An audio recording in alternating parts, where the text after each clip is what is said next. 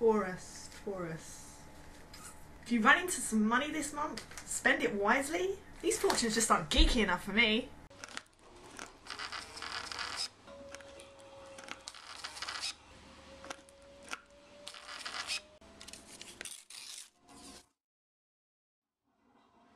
That's more like it. Hi, I'm Carrie Anne. These are the Geek Gurl Diaries. Let's make a box of geek.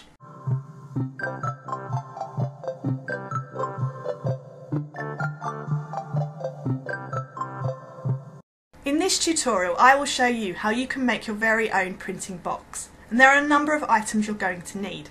First of all you'll need a Raspberry Pi, a power supply for your Raspberry Pi and also keyboard, mouse, monitor and so on so that you can program your Raspberry Pi. You will also need a thermal printer. They cost about £40 and I bought mine on the internet. You'll need a power supply for this and the cables that attach to it. You'll also need a printer paper roll to put into it. A cardboard box is essential. I used a washing powder tablet box for mine. To trigger your box to print, you will need a button. I got mine from an electrical store for a couple of quid and you'll need some cables to be able to plug that into the Raspberry Pi and into the breadboard. Speaking of which, you are going to need a breadboard and a resistor to be able to connect your button to your Raspberry Pi. So here's a resistor so you know what one looks like. Finally, you'll need a solderless DC connector, which again you can get from an electrical store. All the items that you'll need for this tutorial I will put in a list in the description so you know where you can get them from. There are a few tools you're going to need. You're going to need a small crosshead screwdriver, some scissors, a cable stripper, a pen, and for really fiddly bits I would definitely recommend having an adult on standby. Let's get started. The first thing that we need to do is prepare the thermal printer. We need to plug in the cables that came with it. There are two cables. Firstly there is one that will transmit the data from the Raspberry Pi to the printer and there is also a power cable. I'm using some male to female cables to prepare this cable to be plugged into the Raspberry Pi and you can simply just slot them into the holes and you'll see why this is important later on. Next up we need to connect our thermal printer to a power supply. So the first thing to do is to cut the end off the power cable and to strip the red and black cables using a cable stripper. Taking your solderless DC power connector, take your red cable and make sure you put it into the positive slot and screw it in nice and tight using your crosshead screwdriver. Then take your black cable, your ground, put it into the negative and you're going to screw that one in nice and tight as well.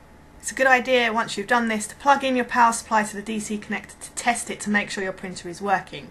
And what should happen is a green light on it should flash to indicate that it's working and if you press and hold the till button the paper will come out of the thermal printer.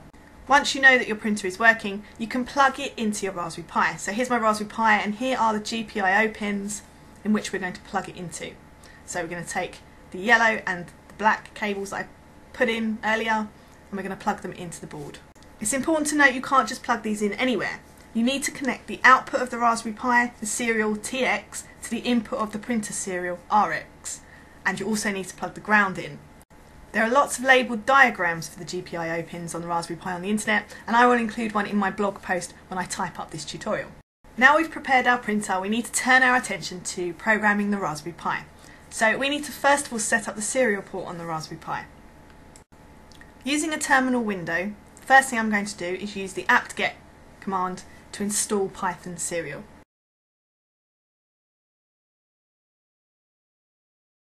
Using the same command we need to install Python Imaging TK as well.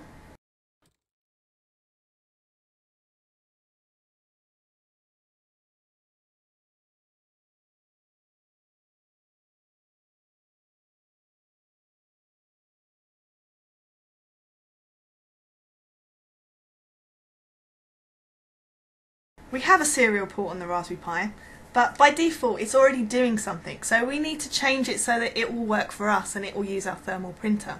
So first of all we need to give it some permissions, and then we need to navigate to this text file and we need to delete some code that's written in that text file so that it just reads what's on the screen now.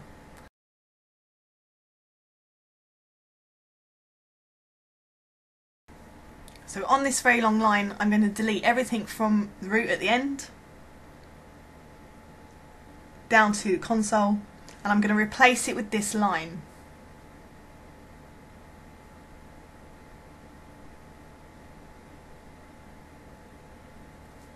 Then I can save that and I'm going to restart the Pi.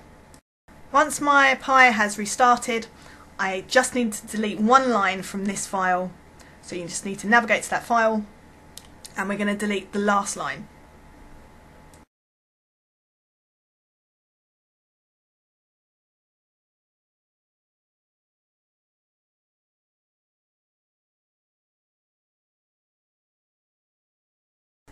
So we've set up the serial port and our Raspberry Pi.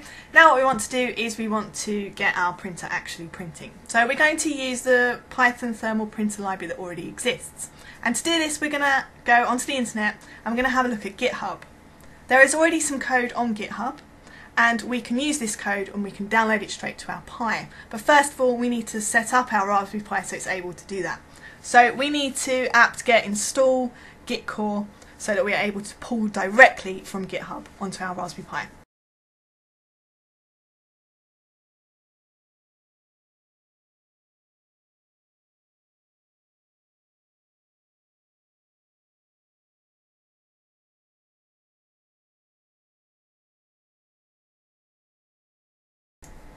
We are going to use a repository on GitHub that someone else has already created you should be able to search for this.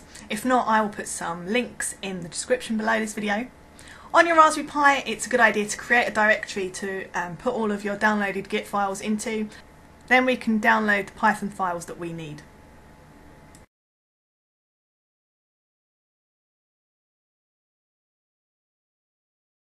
I like to check that all my files are there and then I'm going to change directory so I'm in the directory where my Python file is for my thermal printer.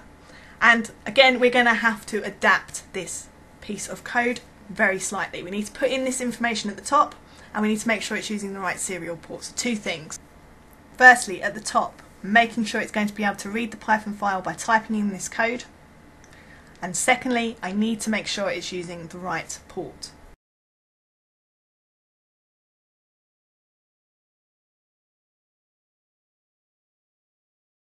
And it is.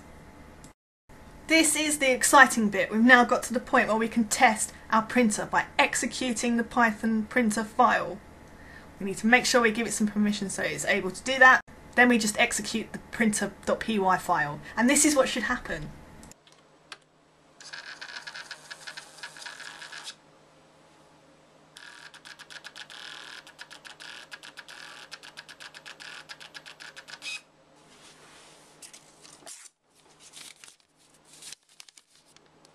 Hopefully you didn't get too lost in that tutorial. Now we've got the box printing, the next thing to do is to customise what it's printing, to get it to print something we actually want it to print. That'll be in the next tutorial, so don't forget to check out part two. I'm Carrie Anne, you've been watching the Geek Gurl Diaries. Don't forget to like, share, subscribe!